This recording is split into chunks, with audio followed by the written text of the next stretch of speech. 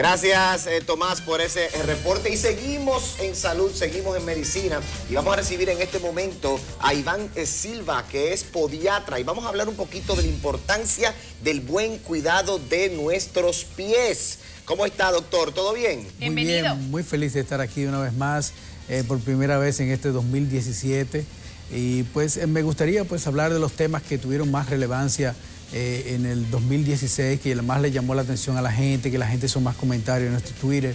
Ah, definitivamente uno de ellos fue el pie de los diabéticos. Ustedes saben que el 25% de los diabéticos pues, en algún momento de su vida van a tener alguna dolencia en los pies y que se podría desarrollar una úlcera e inclusive pues, infecciones profundas en los huesos y en los tejidos. También otra de las cosas que llamó mucho la atención pues fue los problemas de la circulación de las extremidades inferiores, tanto la circulación arterial como la circulación venosa, el desarrollo de ulceraciones, la pesadez de las piernas, los calambres que producen estas condiciones. Otro tema importante pues fueron las deformidades de los pies y cómo nosotros la tratamos pues con incisiones muy pequeñitas, es decir, con cirugías mínimamente invasivas, hacemos correcciones mayores en nuestras extremidades inferiores, disminuyendo el dolor y mejorando pues la calidad de vida de nuestros pacientes. Doctor, una pregunta. Y me voy, y Lisbeth me va a apoyar con esto que voy a decir en este momento. En nuestra generación era muy común usar en las boticas que eran ortopédicas. Ya yo no veo, doctor, muchachito en la calle con boticas ortopédicas. ¿Es que la nueva generación tiene mejores pies que los nuestros? Afortunadamente, pues ya se están utilizando cada vez menos estas boticas porque se ha demostrado de una manera científica que ellas, pues, no podían mejorar las deformidades de los pies de los niños, que muchas de estas deformidades, pues, eran prácticamente inventadas por los padres y eh, lo que se utilizaban esas botas era como un medio de placebo para complacer a, los madres, a las madres, a los padres, pues de los diferentes problemas que, que se habían creado. Las botas no corrigen el pie plano, no corrigen deformidades en los pies de los niños, al contrario, pueden hacer pues producir atrofia de los músculos, pueden producir pues desbalance en lo que es el desarrollo de la biomecánica de la marcha de los niños y por eso cada vez se utilizan menos las botas. También hay otro dispositivo que se está utilizando ya muy poco porque se ha demostrado que solamente influye en algunas situaciones muy especiales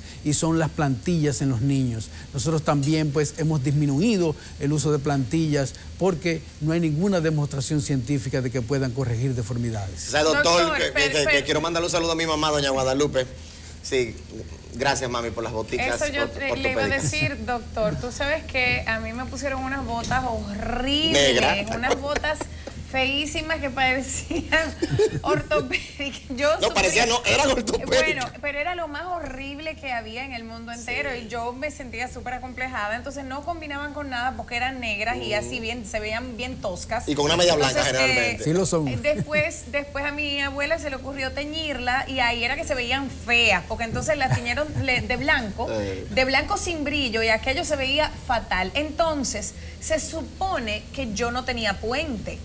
Y se supone que después de las botas, yo sí tengo puente, o sea, de hecho, yo tengo puente. Entonces, ¿qué fue lo que sucedió ahí, doctor, por favor? Mira, eh, muchas de las madres llevan a los niños porque no tienen puente al año y medio o a los dos años de edad y a esa edad pues no se ha desarrollado completamente los huesos, las articulaciones de los pies de los niños. De hecho, ahí donde se forma el arco longitudinal, los niños tienen como una acumulación de grasa que se va perdiendo poco a poco con los años. Es después de los cuatro años, cinco años, en donde nosotros podemos determinar y saber si un niño va a tener pie plano. Pero lo más interesante de todo esto es que los niños que tienen pie plano, la gran mayoría no son patológicos. Nosotros tenemos poblaciones en diferentes lugares del mundo en donde el 25 y el 30% de la gente pues tiene pie plano y esto no significa que usted va a tener limitaciones en lo que es la práctica de algún deporte o, su, manera de, vivir eh, o de caminar. Es decir, los pies planos patológicos están muy bien definidos y muy bien determinados.